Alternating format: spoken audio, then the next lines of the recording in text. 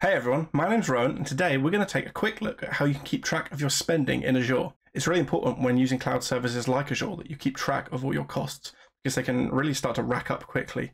There are certain resources on there that you might not necessarily think are going to use a lot up, and they can actually cost a lot more than you think they do, especially if you leave things running or you configure things wrong. You might set stuff up with more compute power than it needs, and that can start to really add up. We're going to look at this, first of all, in Azure Cost Management. And then, second of all, we're going to look at a tool I found recently called InfraCost, um, which lets you get a rough idea of how much something's going to cost through pull requests. So, starting off on the Azure homepage, let's go to the menu on the side. We're going to scroll all the way down and go to Cost Management and Billing. We're going to click on Cost Management, and then we'll go on Cost Analysis here at the side. Now, this is the default view it gives you. We're actually quickly going to change the date period because I want to show you the forecasting stuff and when I'm recording this, it's actually like the last day of my billing period. So we can select a custom date range to view our invoice for. So in May, we just need to select basically anything that's today or before, uh, and any sort of end date afterwards will be okay. Let's do that. So in this period I've selected, we can see our current costs um, highlighted by the, the dark green bar here. And then it's going to forecast our costs over the period. So it defaults to your billing period, which is typically a month and this is going to show us basically what it expects us to use in that time frame.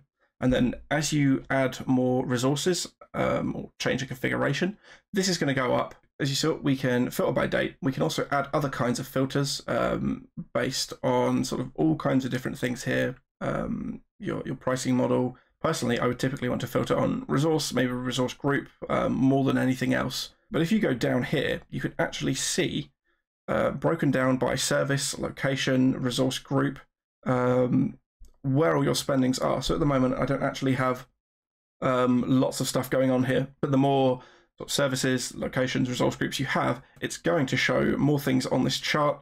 Um, and then you can select which one to drill down it. So if we go to our container registry on the service name, and we can look at basically all of our container registries, and then it's going to show us the breakdown specifically for that.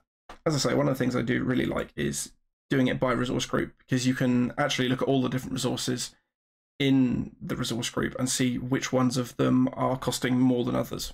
So there's not a lot going on here. I would typically expect container registry to be one of the highest ones based on the stuff I've got at the moment. When you create a new resource, it can take up to a week for it to show in the cost analysis here. And if you've created a new subscription, it can take up to two days for your subscription to even show up here as well. Um, so it's kind of like an ongoing thing. You don't always necessarily get a quick, up to date um, response of how much your costs are going to be. Um, but this is definitely worth looking at over time. One of the other important things on this is on the left hand side, you've got advisor recommendations. And if you go to that, I haven't got any on here at the moment, but if I go to see a list here, it could start telling me about the different types of cost recommendations it will make. And it will tell you the impact of how important your this recommendation is and it will also give a rough cost estimate of how much money you could save by making its recommendations, which is really, really helpful. However, because this isn't necessarily so quick, and because we might, as a developer, want to control or see our cost um, changes or recommendations closer to our actual code in the process we go through, I'm actually going to look at this tool called InfraCost, which someone recommended to me recently. So if we go over to their page, uh, this is the dashboard it gives you. Um, this is just some other stuff I was playing around with. If we go to repos and hit add repos, this is actually the kind of screen it's going to give you when you first um, sign in and you haven't got any repos set up. So we get to pick uh, from these different integrations. And I think there's actually more than this, but we just want GitHub app for now. And it's going to let us pick from all of our repos in GitHub. It does do a little connection thing, um, permissions, the first time you do this. So we're going to select InfraCost test, and it's highlighted here that it knows that there's some Terraform involved. So if we then hit next, um, we don't have any private Git modules. We don't have any private registry modules. We don't need any additional environment variables. If you do need to select yes for some of these, there is some additional setup you might need to do. Um, there is pretty good documentation for all of this. And then this whole thing is driven through pull requests. So we're going to leave this on the default here it's going to post a comment in pull requests when Terraform has changes. Now, as far as I'm aware, it only really works at the moment through Terraform. Um, but that's okay because Terraform is really highly used and it's really easy to use as well. If you haven't used Terraform for your infrastructure as code, I would highly recommend giving it a shot. So we're going to hit complete setup and it's added the repo. And now, in order to get your cost estimate, you have to actually make a pull request on the repo itself. So we're going to go to the repo. So over in pull requests, we'll click on new pull request and we need to select a branch. So we're going to go to test adding. And now the changes I made in here are actually in a Terraform file. So this is how it picks up and estimates what the cost changes are going to be. So we've got a container registry and then we've got a container instance or container group. Um, it didn't really seem to pick this up very well. I'm not entirely sure why, um, but the container registry itself, it will show the cost changes for.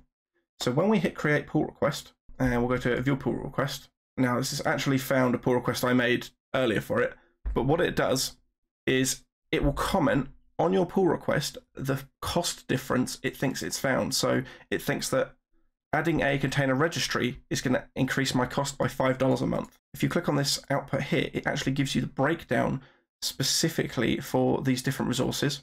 Um, and it's given us some little sort of cost indications here. Um, obviously, depending on how much we use the registry, it could um, differ in what the cost is. And it's sort of highlighting that here, but the base cost is going to be about $5. Now, one other thing to note in here is it says $5, but I feel like that's probably a rough estimation. You know, the stuff in Azure doesn't seem to be as specific as that. It could be to do with the the dollar to pound conversion I'm getting, but at least take it with a grain of salt and understand that it's giving you a rough estimation. And as we said before, there's extra costs in here of the different ways you could use it. Like if you're storing more, if you're accessing it more, that kind of stuff, depending on the resource, can change what the cost looks like.